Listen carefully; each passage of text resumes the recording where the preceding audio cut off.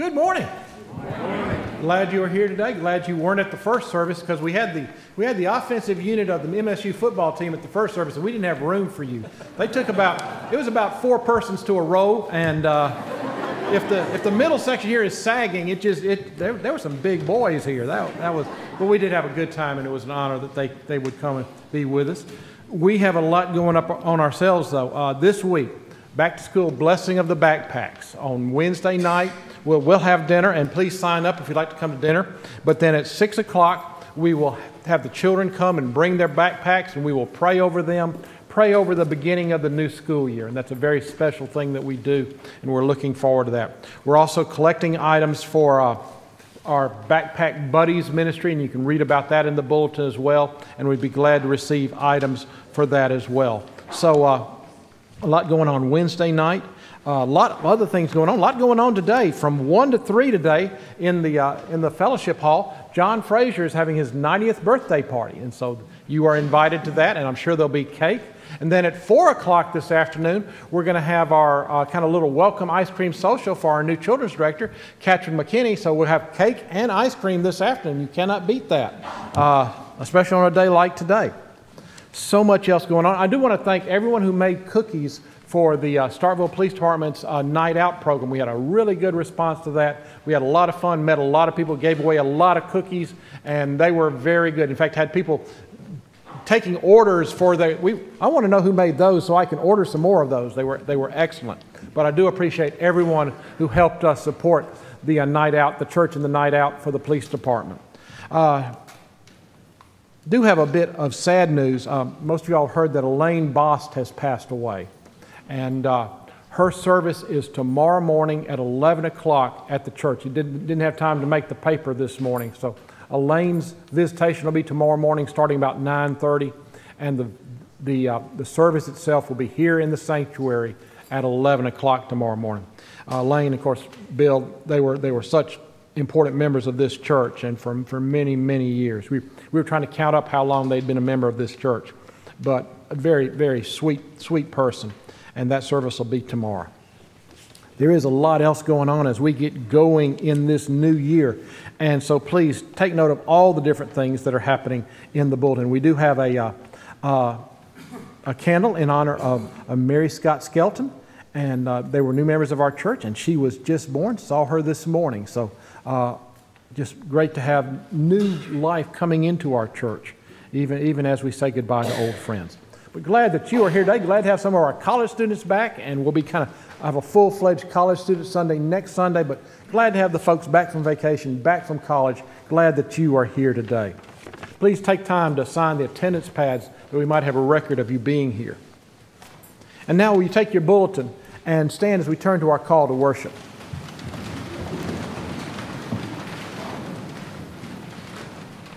Out of the depths I cry to you, O Lord. Lord, let your ears be attentive to the voice of my supplications. I wait for the Lord. My soul waits. In his word I hope. Most gracious God, we come here with a spirit of excitement. We come here with a spirit of hope.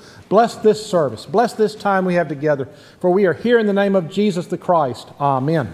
The hymn of praise is number 66. Praise my soul, the King of heaven, number 66.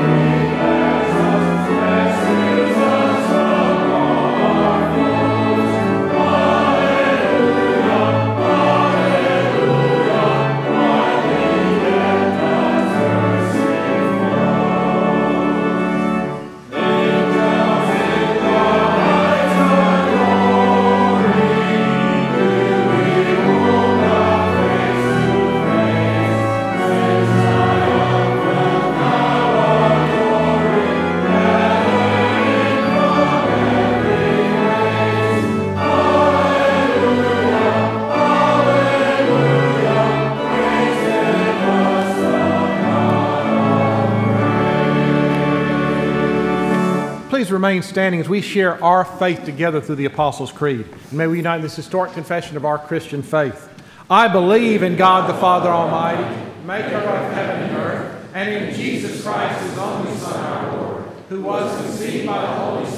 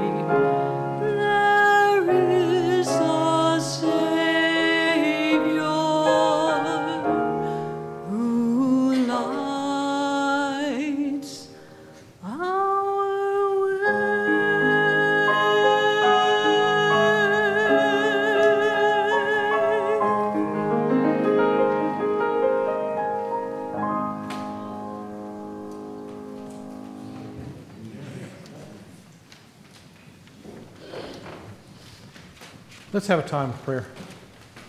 Most good and gracious Heavenly Father, we do thank you for your Son, and we thank you for all the ways in which your love is poured down on us.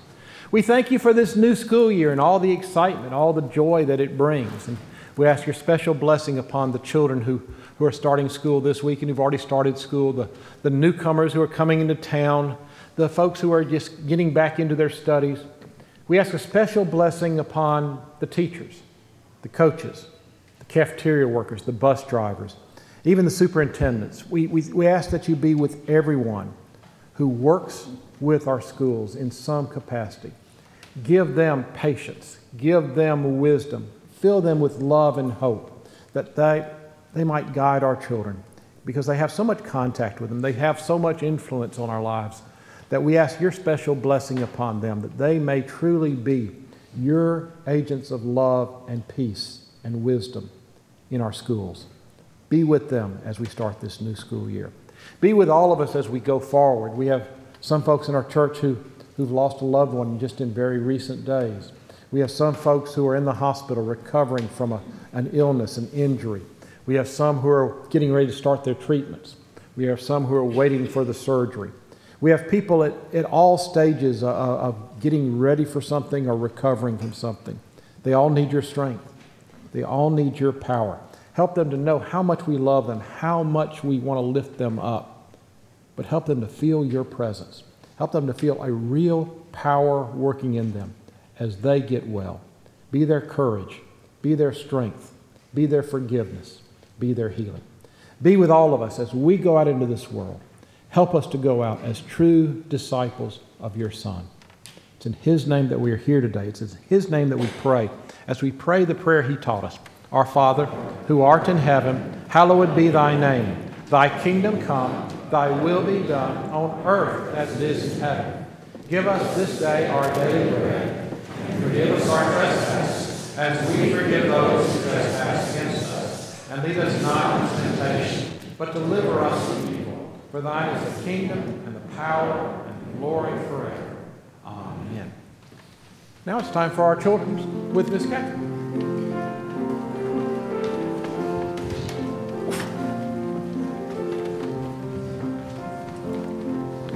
Oh, you okay? Okay.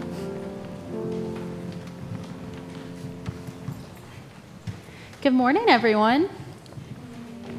Oh, y'all don't sound too excited to be here. Um, who can tell me what we did during Sunday school? What, what's so special about this Sunday? Do y'all remember? That's right, it's Promotion Sunday. And that means, which y'all have already gone through, is that we have moved y'all up to the next grade level. oh, come on, you can come over here. Um, and so we moved up to the next grade level in Sunday school. And how many, I know Sunday school is a little different than regular school because you typically know, hello, typically know everybody and know your teachers. But sometimes when you go to a new grade, you don't know your teachers or even who's in your class. And I know I was scared of that. Have y'all ever been nervous or scared of starting a new school year? It can be really scary sometimes. But the really awesome thing about us being scared is that even if we are scared, God's with us.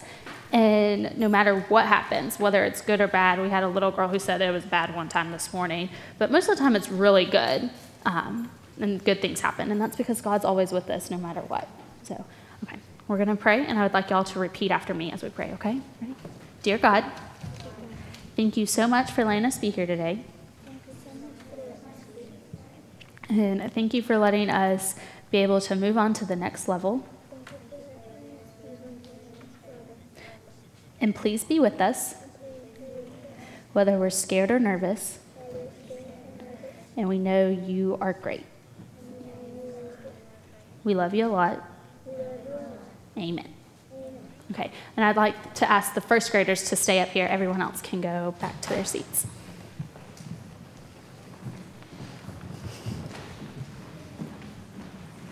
Brody, Brody, stay up here. John David, do you want to come up? We have just 3 Mhm. Well, today is a really special day. Besides it being Promotion Sunday, we are also handing out Bibles. Here, you want to stand? Y'all can stand if you want. Um, to our first graders. Um, and so they can start the process of reading on their own and just seeing what God's Word is all about. um, and we have a Bible for you, John David, and for Colt, and for Brody.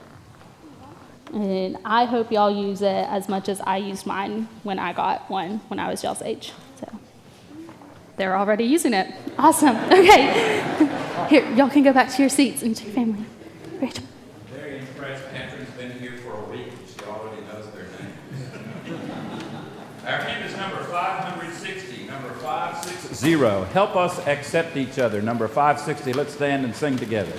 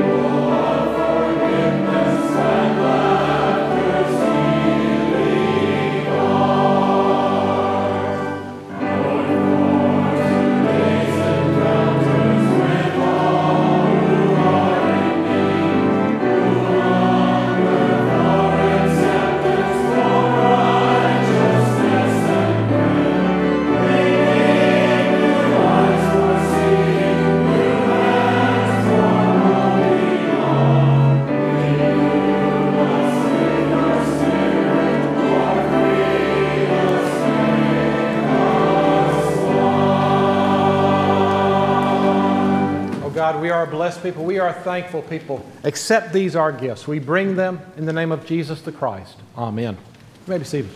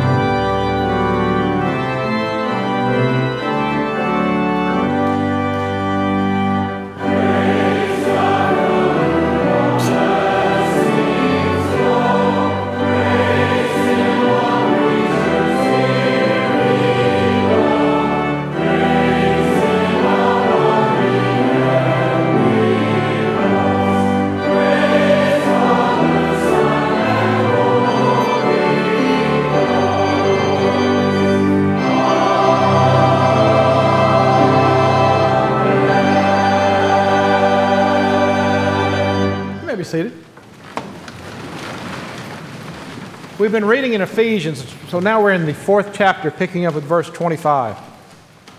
So then, putting away falsehood, let all of us speak the truth to our neighbors, for we are members of one another. Be angry, but do not sin. Do not let the sun go down on your anger, and do not make room for the devil. Thieves must give up stealing. Rather, let them labor and work honestly for their, with their own hands so as to have something to share with the needy. Let no evil talk come out of your mouths, but only what is useful for building up as there is need, so that your words may give grace to those who hear. And do not grieve the Holy Spirit of God, with which you were marked with a seal for the day of redemption.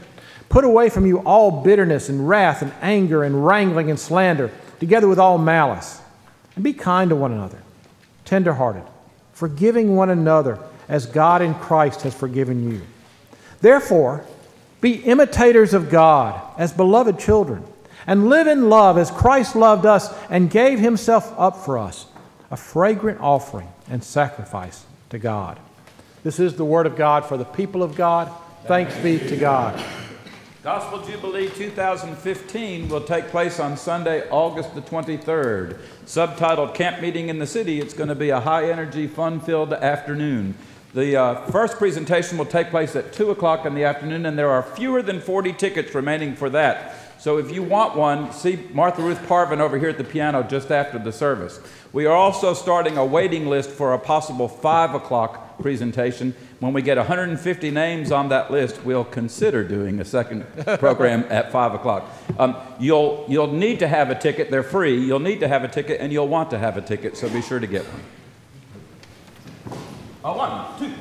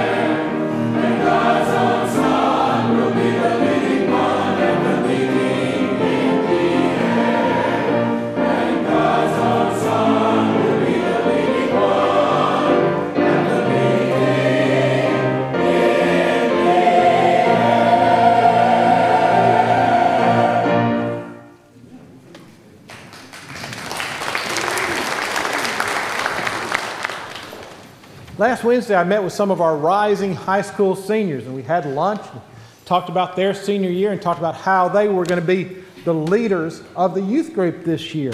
And I was trying to get them around to this question of, of what are you going to do to make a difference this year? So I gave them a challenge. I gave them $50, and I told them to go out and do some good with it. And they immediately left, and I haven't seen any of them since then. Uh, no, no.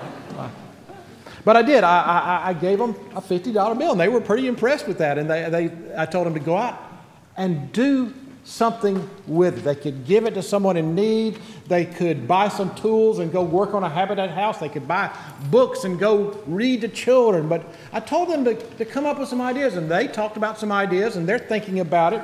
And they'll each have to decide what they're going to do with that money.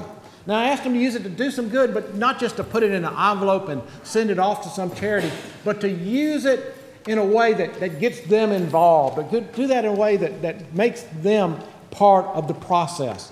And uh, it's going to be interesting. We're we calling it the Senior Project. This is the very first time we've done this, so we'll have to see how it goes. Uh, uh, Brandon and, and uh, Emily are saying, Why didn't you give us some money? I don't know. Well, I'm sorry. Uh, we'll see how it goes. I, I, I did it to challenge them. I did it to teach them a little bit about stewardship and a little bit about responsibility. I did it to make them look around their own community and see what needs are right here in Starkville, in Oktibbeha County, that they might get help with. But mostly I did it to help them see how they, being 17, 18 years old, with just a little bit startup and their own gifts and their own graces, can do something that will make a difference in their school, in their church, in their neighborhood, in their hometown. And I have faith that it will not all be spent on pizza and video games, but we'll see. But I will keep you informed as the year goes along. We're going to, have, we're going to check in with them now and again. And what I hope is that we'll come to the end of this year and we're going to have a banquet. And we're going to let the seniors, the class of 16, tell what they have done this year. And then they are going to pass on $50 to the class of 17 and challenge them in the same way. That's what I hope they're going to do. Now, I'm not going to give you $50 this morning, but I will ask you what are you going to do to make a difference in the coming year? It is like it's a, it's a brand new year, you know, being in a college town where so much revolves not just around the university, but around school in general. This is like a new year. This is Promotion Sunday. And I was one of those who was very scared. I, I worried about Promotion Sunday as a little child. I worried that I might miss Promotion Sunday and not know where to go to Sunday school the next week, even though the next class was just one class down the hallway. It, it worried me to no end. But regular school starts tomorrow. Some of our kids have already started school, but a lot of them will start tomorrow. And so we, we, we pray for them and pray for their teachers. You know, MSU has another week to go, so I told the, the uh, football team that they could just rest and lounge around this week, and they laughed, and the coaches laughed, an evil laugh when I said that. uh, uh, uh, yeah, right. But it is exciting to have a sense of newness around this time, to have a new school year. All the fresh people that are showing up this year and clogging up Walmart. Uh, there's a lot going on. There's a new football season. There's a new volleyball season. There's a new soccer season. Maybe we'll keep our fingers crossed. There's a little cooler weather on the way.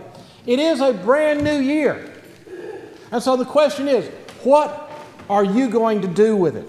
How are you going to make a difference in it? And it's an important question for everyone. But it's especially an important question for those who claim to follow Jesus Christ. Because for all of us, it's real easy to get to that place where we think, well, okay, I'm here. I've got it made. I, have done what I need to do. I don't need to do anymore. And it can happen to any of us. We get to that point. Something good has happened, and we think, I've made it. I've graduated high school.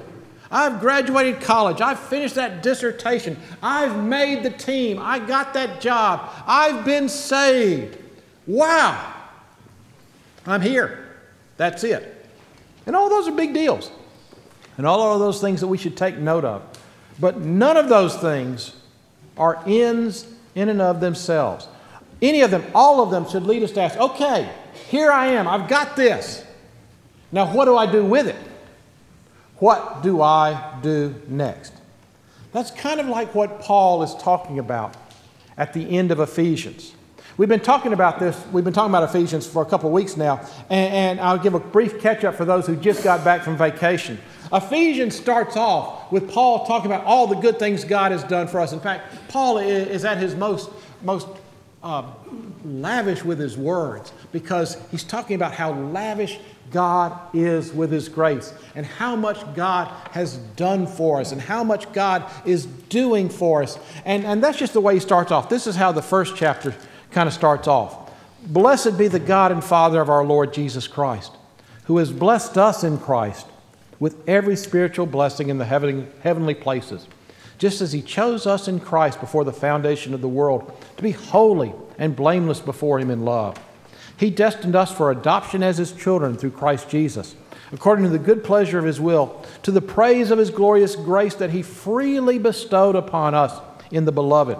In Him we have redemption through His blood, the forgiveness of our trespasses, according to the riches of His grace that He has lavished upon us.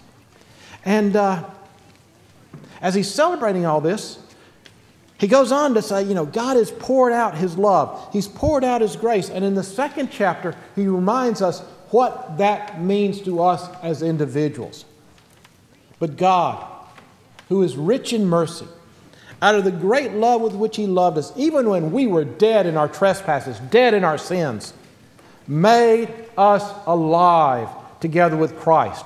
By grace you have been saved and raised us up with him and seated us with him in the heavenly places in Christ Jesus, so that in the ages to come he might show the immeasurable riches of his grace in kindness towards us in Christ Jesus.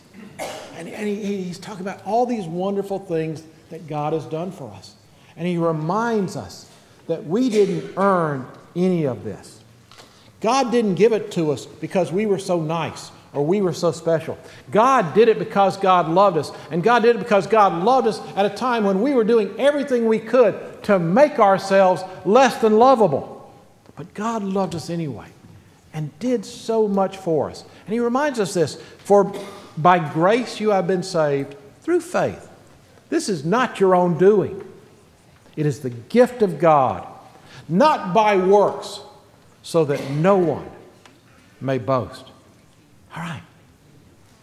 God loves us already. Our salvation is not something that we earn, but it is a gift of God that we received, that we tapped into by faith. We didn't do any good works to earn God's love, and that's okay because God loved us. And God had already sent His Son. But that doesn't mean we just sit around and bask in the glow of it. It means we do something with it. And that's what Paul is trying to tell us in the second half of the letter. We still ought to do something. We still ought to do something in response. We still ought to do something to say thank you. We still are supposed to do something with what we've been given. It's like you get a diploma and you have a big graduation and you put that diploma in the frame and you just stand there and let the, the wonder of it pour over you how, how great you are, how smart you are, whether it's a high school diploma or college or your PhD. But you can't just stand around in that glow forever. Somewhere along the line, you need to put it to work. You need to use what you've learned. You need to build on what you've learned. You need to get a job. I'll tell some of the parents are saying, yes, amen to that. Uh, you need to do something with it. It's like you make the team. And it's a big deal to make the team that you've gotten a jersey, you've gotten a scholarship, you are on the team. It's a big deal, it should be celebrated. But that celebration can only go on so long either. Making the team is just the start. Then you've got to practice, you've got to study, you've got to earn your playing time, you've got to earn your start, you've got to get better, you've got to help the team get better, you've got to help the team win, you've got to become the best that you can be. Once again, you've been given something. So do something with it. And it's the same even with gifts that we didn't earn. Someone gives us a gift. We don't just let it sit there and not unwrap it, not open it, not use it, not wear it, not do whatever it is we're supposed to do with it. It doesn't do us any good. It doesn't do the giver any good either for us just to let it sit there in a box, unopened and unused, if we ignore it, if we don't use it. Christians as Paul says, have been given so much. And so much of what we've been given, we haven't earned, we haven't deserved it. We got it because God loves us. We got it because Jesus Christ was willing to die for us. But even if we didn't earn the gift, we still ought to do something with it. We ought to live out our lives. We ought to do good things. We ought to be the best people we can be. We ought to be the best, whatever we can be, as a response as a way of saying thank you to the God who gave us so much. Paul says it better than I can. Paul says it in Ephesians I urge you to live a life worthy of the calling you have received. He says we're supposed to keep on growing all of our lives until we all reach the unity of faith and the knowledge of the Son of God and become mature, attaining the whole measure of the fullness of Christ. You've heard me say before, you're born again but you're born again as baby Christians, and you're supposed to grow. And that's exactly what Paul says right here. Then we will no longer be infants. We'll no longer be baby Christians tossed back and forth by the waves and blown here and there by every wind of teaching and by the cunning and craftiness of people in their deceitful scheming. Instead, speaking the truth in love, we will grow to become, in every respect, the mature body of Him who is the head, that is the Christ. He says, we're supposed to grow. We've been saved, we've been made new, we've been forgiven, but now we are supposed to grow more and more like the example of Christ. And then he sums it up even more directly. Therefore, be imitators of God as beloved children and live in love as Christ loved us and gave himself up for us. Be imitators of God.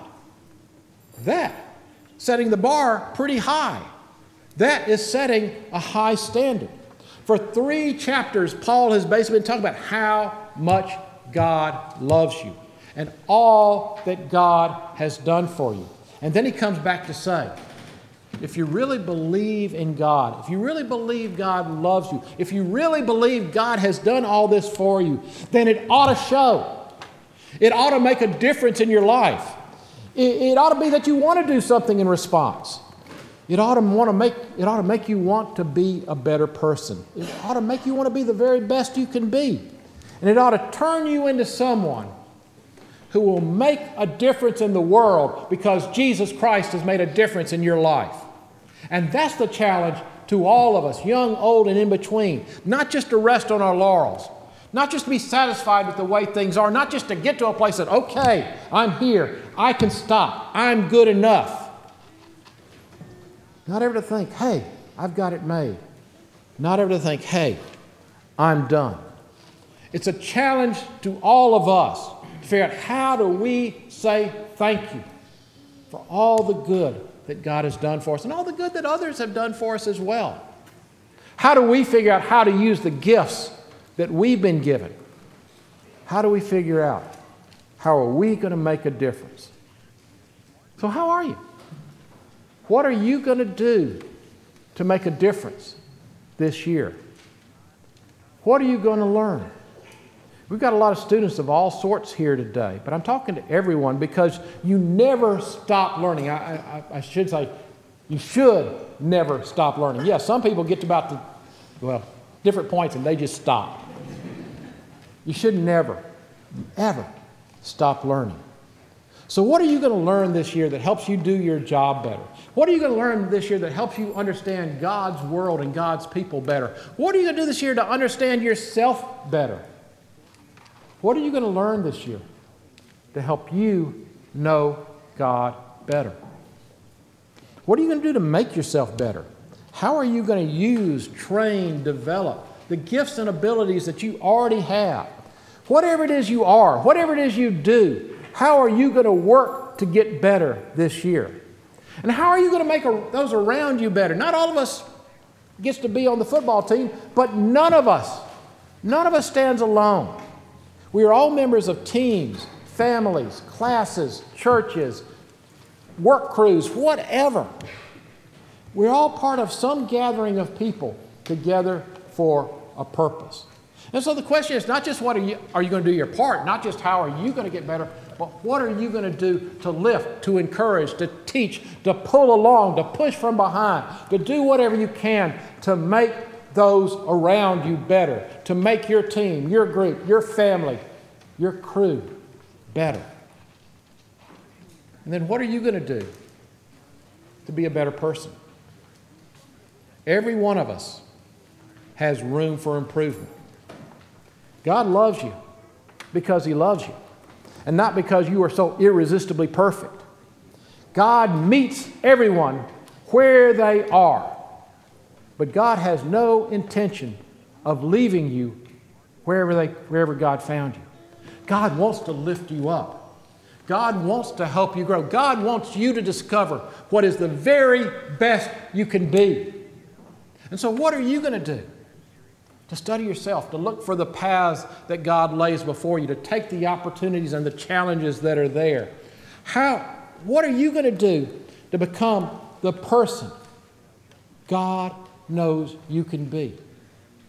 If you do those things, if you try to learn something, if you try to get better at what you do, if you try to make those people around you better, if you try just to be a better person, then you will find what? You will be making a difference.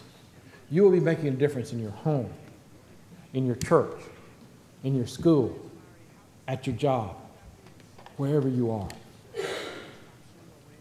Everyone in this room has been blessed in many ways. We don't all have the same gifts. We don't all need the same gifts, just as the, the football team doesn't need to be made up of all quarterbacks. That just would not make any sense. But every one of us has some gift has some ability, has some talent, has some circumstance. We've been blessed with so many things talents and abilities, love, support, encouragement, opportunities, and challenges.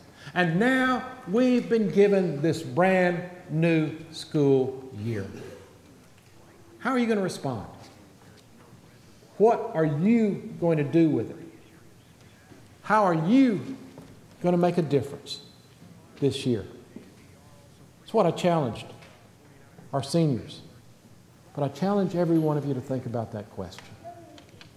What are you going to do to make a difference this year? Let us pray.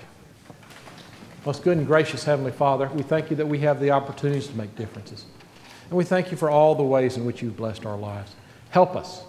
Help us to discover our skills, to develop our skills, to use our skills, to use all the gifts you give us to be true followers of your Son, your agents, your difference makers in this world.